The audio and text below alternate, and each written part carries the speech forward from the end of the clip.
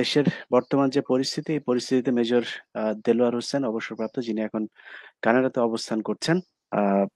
সবার পরিচিত। বাংলাদেশের এক সময়ের সেনাবাহিনীর যারা যাদেরকে আমরা দেশপ্রেম এর প্রতীক হিসাবে মনে করতাম।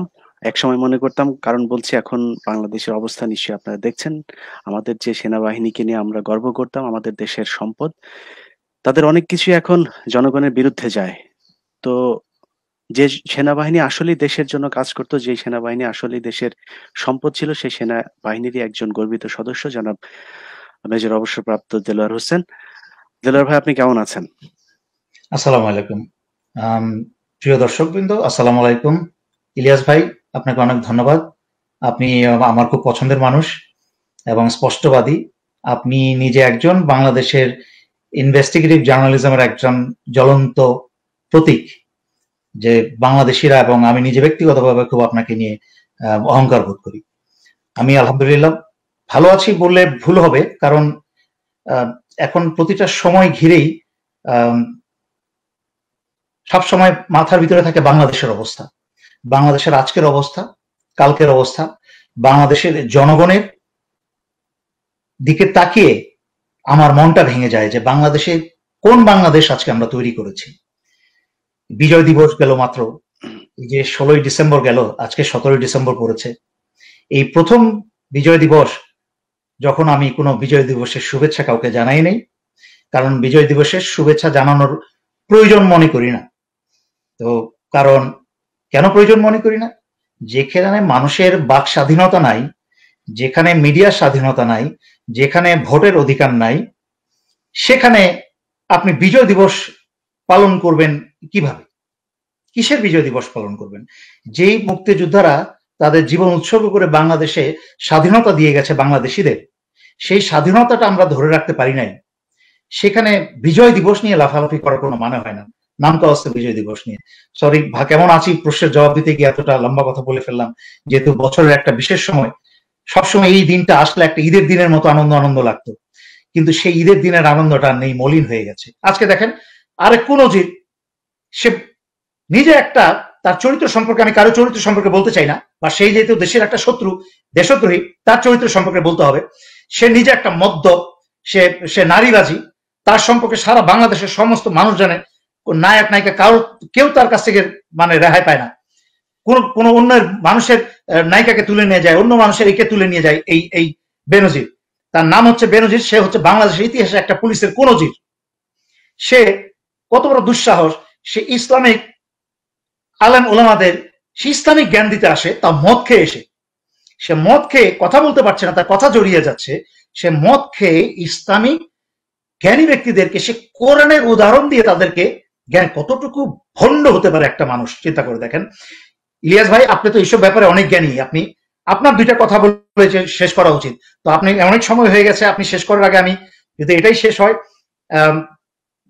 আমি জাস্ট জনগণকে এবং সবাইকে আমি বেনজিরের এই বক্তব্যটা শুনেছি তো ওখানে আমার মানে ওনার আচরণ ভঙ্গি এগুলো তো মানে একটু অহংকার ওটা তো আছেই সেটা নিয়ে খুব বেশি কিছু বললাম না। সময় আসছে তো বলার এই জন্য একটু রেখে দিলাম হ্যাঁ। আপনি অপেক্ষা করেন না।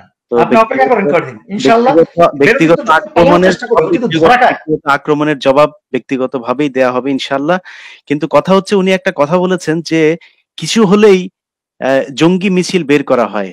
মানে বাইতুল মুকাররম উনি নিশ্চয়ই বাইতুল মুকাররমের সামনে থেকে যে ইসলামী দলগুলো আছে পৃথিবীর বিভিন্ন প্রান্তে মুসলমানদের উপরে যে ধরনের নির্যাতন হয় সেগুলোর প্রতিবাদে এই মিছিলগুলো বের করা হয়। সেটাকে উনি নাম দিয়েছেন জঙ্গি মিছিল। তো জঙ্গি মিছিল মানে কি?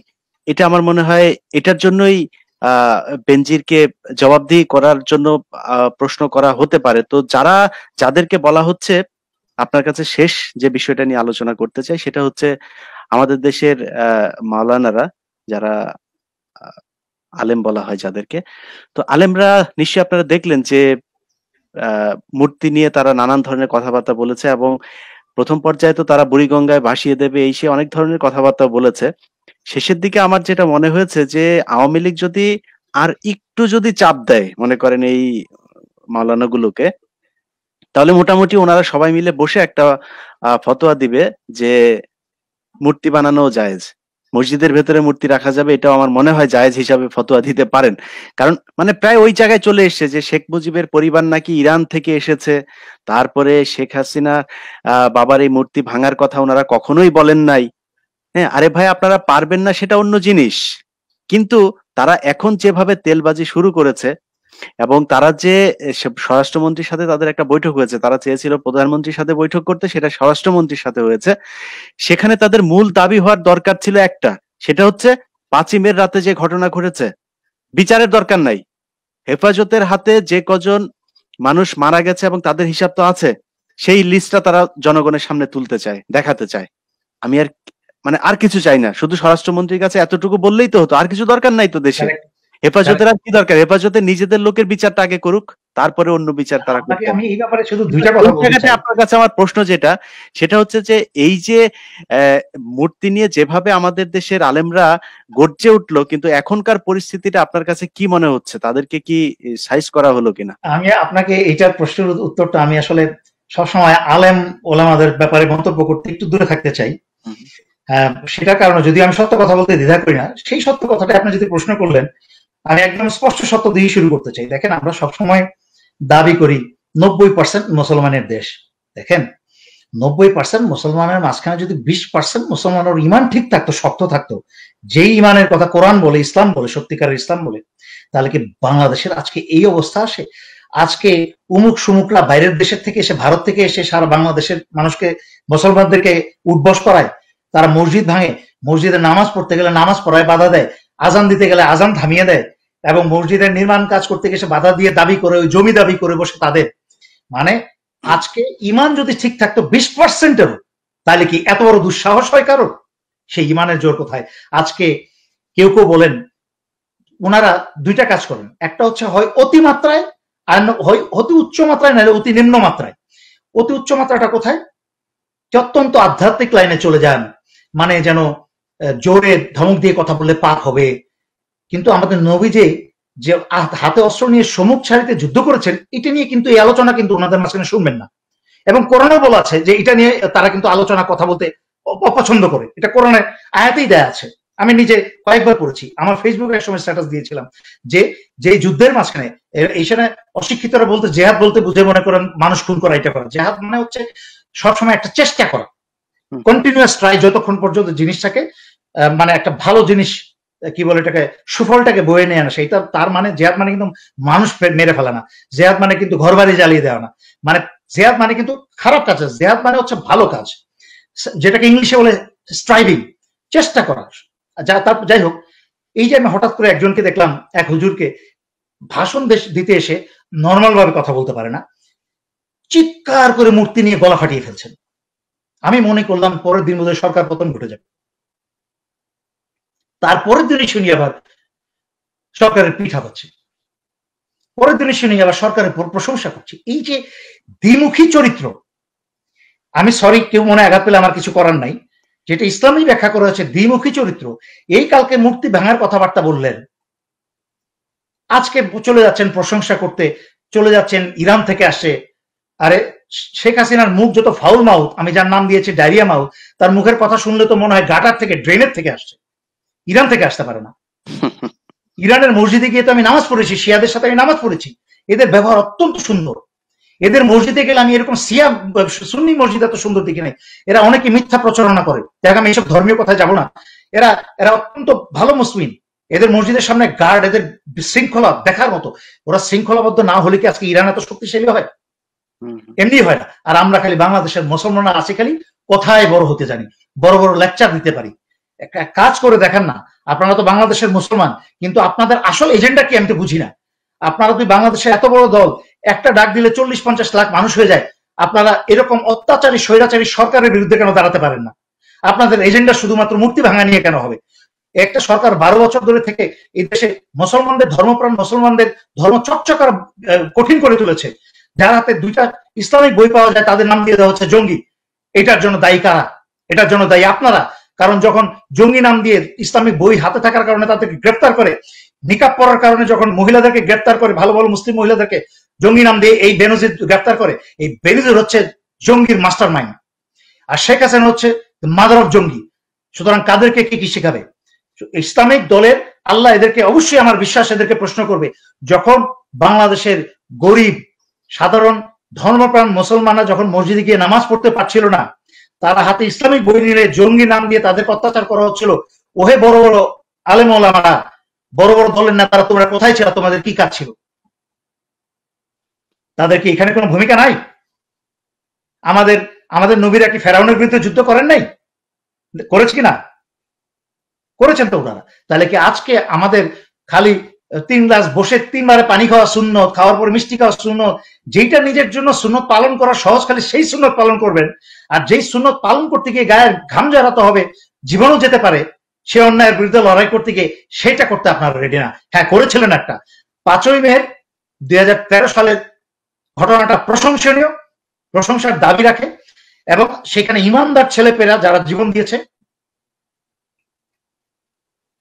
যারা সেখানে ইমানদার ছেলেমেয়েরা যারা জীবন দিয়েছে, আল্লাহ তাদেরকে বেহস্ত নসিব করুক নসিব করুক। এই অত্যাচারের হাতে যারা নিহত হয়েছে, এবং সেই দিন আপনার ইমানের পরিচয় দিয়েছিলেন দুই হাজার তেরোর পাঁচই মে। এরপরে আমি আর ইমানের লক্ষণ এরকম দেখি নাই।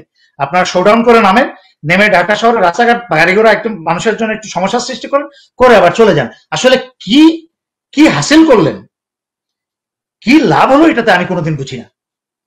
সুতরাং ইলিয়াস ভাই আমি আসলে তাদের যে কি উদ্দেশ্য কি এজেন্ট আমি নিজেই জানি না। আমি কি বলব?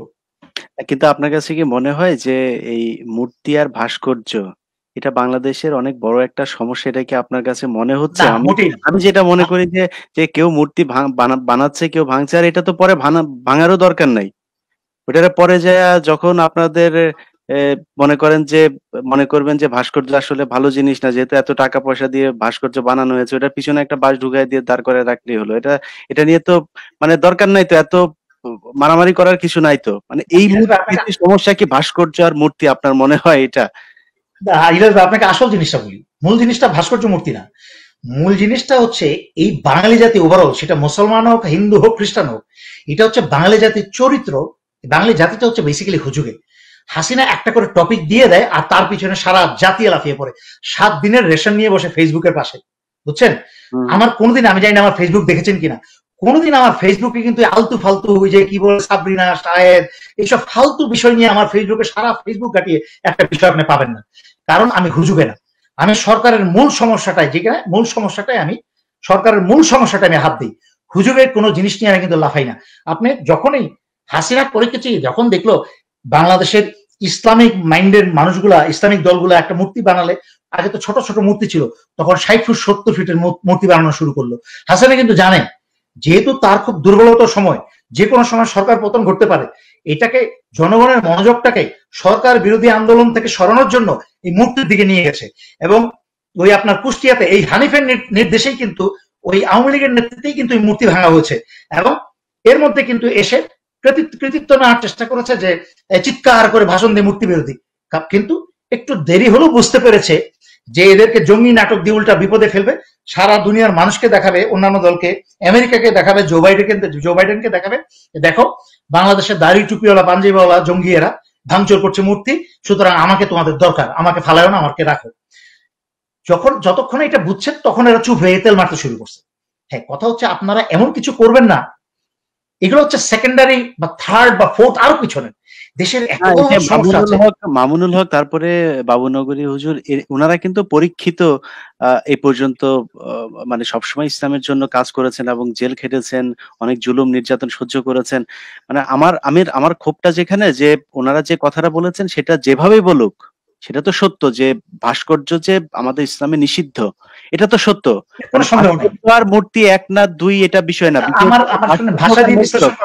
হ্যাঁ দুইটাই দুইটাই নিষিদ্ধ কিন্তু কথা হচ্ছে যে এখন এই মুহূর্তে আপনারা পারেন নাই ঠিক আছে আমি তো মানুষ আমার তো জীবনের ভয় আছে আপনার জীবনের ভয় থাকবে এটাই স্বাভাবিক। আপনি পারেন নাই ঠিক আছে বাংলাদেশের মানুষ বুঝতে পেরেছে যে আপনাদেরকে নানানভাবে চাপ দিয়ে তারপর বসিয়ে রাখা হয়েছে। যেটা করা হচ্ছে বিএনপির এত মানে বিরাট বাঘা বাঘা নেতাদেরকে পর্যন্ত ফাঁসি দেওয়া হয়েছে জামাতের নেতাদের ফাঁসি দেওয়া হয়েছে যাদের আন্তর্জাতিকভাবে বিরাট আকারে একটা মূল্যায়ন ছিল।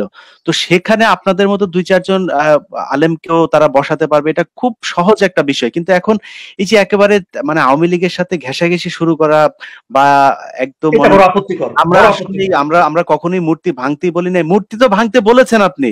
এবং মূর্তি ভাঙবে এটাই স্বাভাবিক। আমাদের নবী রাসূল অনেকেই মূর্তি ভেঙেছেন এটাই তো স্বাভাবিক।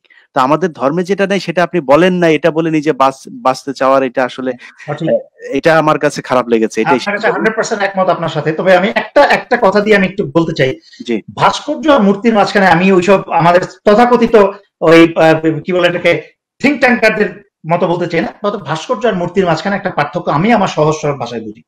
আপনি একটা যেমন আপনি মক্কা নগরীতে ঢোকার আগে দেখবেন বিরাট বড় করে একটা কোরআন শরীফের একটা আহ, কি বলে একটা একটা স্তম্ভ করা আছে। এটাকে আপনি ভাস্কর্য করতে পারেন। আপনি বাংলাদেশের রামু ক্যান্টনমেন্টে বা কোথাও যেন এরকম এরকমই একটা কিছু করা আছে। এরকম একটা সৌট বা কিছু দিয়ে আছে। আপনি কি এটাকে ভাস্কর্য বলতে পারেন? কিন্তু মূর্তি হচ্ছে যেই জিনিস যেই প্রাণের সৃষ্টি স্বয়ং আল্লাহ রূপ দেন আল্লাহ তৈরি করেন সেই একই জিনিস যখন মানুষ তৈরি করে সেটাকে আপনি মূর্তি বলবেন। সেইটাকে কিন্তু ভাস্কর্য বলা যাবে না। কারণ আপনি আপনি মূর্তি বলেন না, মূর্তি বলার দরকার নাই, ভাস্কর্য বলার দরকার নাই। প্রাণীর আল্লাহ সেটা আপনি তৈরি করতে পারেন আল্লাহ। প্রাণ থাকে যেটা প্রাণ থাকে যেটা. মানুষ না কিন্তু শেখ মুজিবের ছবি না খালি। একটা প্রাণীর যে কোনো একটা কুকুর বিড়াল পশু পাখি যে কোনো এই প্রাণীর ছবি আপনি সামনে রেখে নামাজ পড়তে পারবেন না। এটা হচ্ছে আমাদের নিষিদ্ধ। সো আপনার মানে শেখ মুজিবের এটা মূর্তি বানানো হচ্ছে না ভাস্কর্য বানানো হচ্ছে এটা নিয়ে। মানে মানুষ রূপে আল্লাহর সৃষ্টির আল্লাহর সৃষ্টির একটা সেকেন্ডারি রূপ দেওয়া নাউজুবিল্লাহ। সেটাই বলা হচ্ছে। যাই হোক আমি এইসব ইসলামিক আলোচনায় যাব না।